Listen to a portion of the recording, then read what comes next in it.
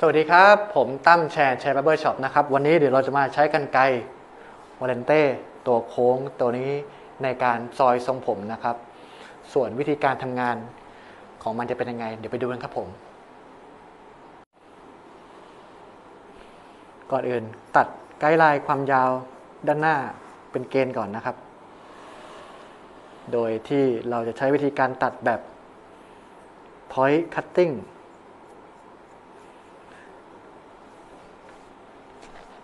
ราวนี้มาด้านข้าง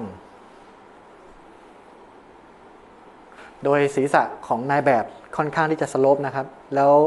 ทรงผมที่เราจะใช้คือเป็นลักษณะทรงเสย ตรงนี้เราจะไม่ให้ยาวมาก เกิดถ้ายาวมากเวลาเสยไปแล้วมันจะทำให้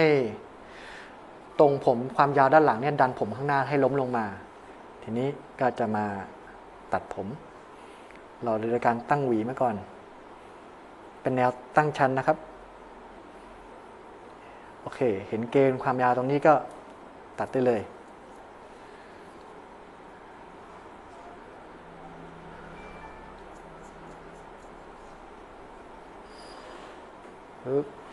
ตัด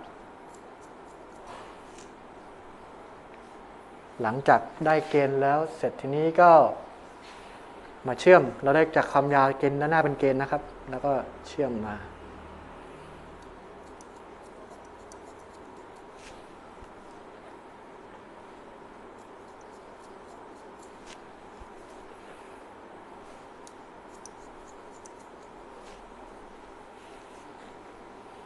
ต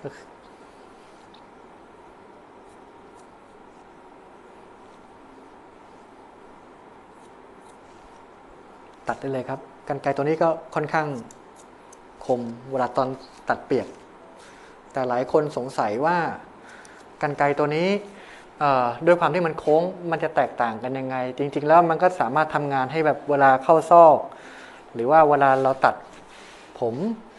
ตรงเกณฑ์ความยาวด้านหน้า กันไกรมันโค้งมันจะรับกับโค้งศีรษะได้ค่อนข้างดี เราลากลงมาเสร็จปุ๊บเก็บค่อยๆเก็บปลอยผม นี่คือการทำงานของความโค้งของกันไกรนะครับ ในส่วนของถ้าเราจะเก็บด้านข้างเนี่ยเราไม่ต้องกังวลว่ามันจะจะเป็นยังไงบ้าง เพราะว่ากันไกรเนี่ยมันจะมีขนาบที่ค่อนข้างกับหวี มันไม่ได้โค้งหนีจากหวี เพียงแต่แค่ลักษณะของมันมันแค่ดูเชิดขึ้น เชิดขึ้นนิดเดียว แล้วเราตัดด้านข้างก็ ยกตัดก็เหมือนกรรไกรปกติทั่วไปครับ ไม่ได้มีอะไรที่แบบว่าให้ต้องแบบว่ากังวลหรือว่าซับซ้อนอะไรมากเท่าไหร่นี้กรรไกรตัวนี้ ยังไงก็ ถ้าสนใจก็ไปลองเล่นกันดูนะครับผม วันนี้ตั้ม Chair & Share Barbershop ขอตัวลาไปก่อน ยังไงเดี๋ยวคลิปต่อไป จะเป็นเรื่องอะไรเดี๋ยวมาดูกันนะครับผม บ๊ายบายครับ